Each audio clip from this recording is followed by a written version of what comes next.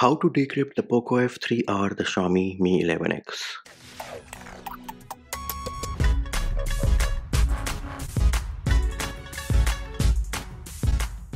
Hey peeps, what's up Munchy here, back with another video and in this video I'm going to show you how you can decrypt your POCO F3 or the Xiaomi Mi 11X. Now do note that decrypting your device is a personal preference and this is generally for those of you who want to switch between different ROMs without having to perform a format data each time, which is why you would want to run your device decrypted.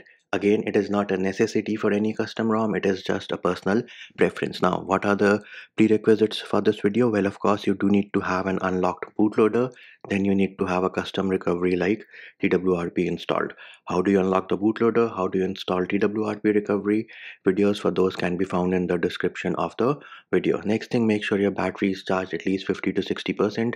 Do not do this process if your battery is at 20 or 30%. Also, make sure you have at least 10 GB GB of internal storage space available. Again 10 GB of empty space available on your device. If you have something like 3 GB 4 GB it is not going to work. You need at least 10 GB maybe around 15 GB of empty space available on your device. Now I will be doing this from stock MIUI but the process will work even if you are on a custom ROM.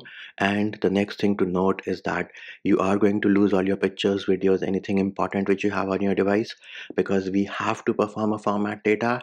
And no you cannot go from an encrypted device to a decrypted device without performing a format data next up you need to go into settings and then you will go into password and security remove your screen lock fingerprint and face unlock. Once that is done go back go into mi account and remove your mi account. Once that is done go back go into accounts and sync and remove your google account. Once you have removed all the accounts and security measures make sure you reboot your device once. Why are we removing all these accounts and security measures? We are doing this because we are decrypting a device and me personally i do not like to sign back into all the accounts.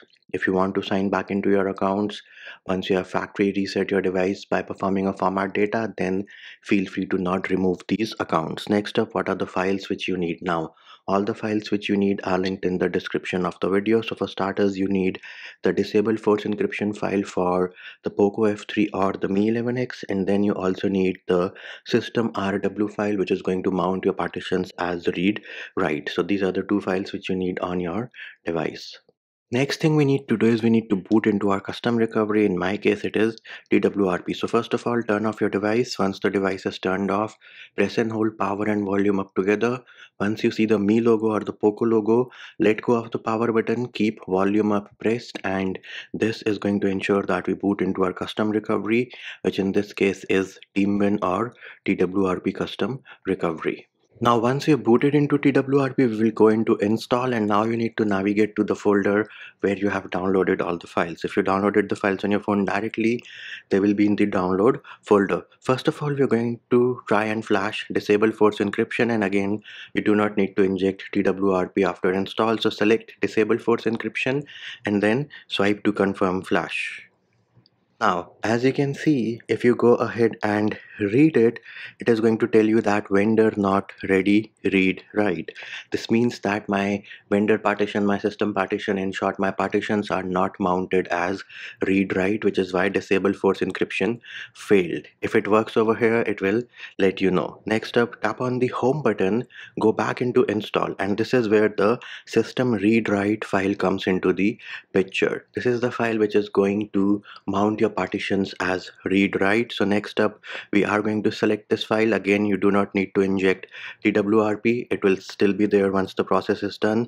And once you have selected the system read write file swipe to confirm flash. Now do note that system read write is going to take some time and you have to be patient. Do not reboot your device while it is happening. And if it gives you an error it is mostly because of the fact that you do not have enough free space available on your device now at some point during the process of flashing system RW, you might get the message of invalid sparse file format at header magic again as the message over here says it is absolutely fine there is nothing wrong with your device and the process is going as normal as possible. Now once the process has finished successfully, you are going to get this message that congratulations, your images should now have read-write capability. You can ignore these failed to mount errors. Tap on the home button, go into reboot and here and select recovery.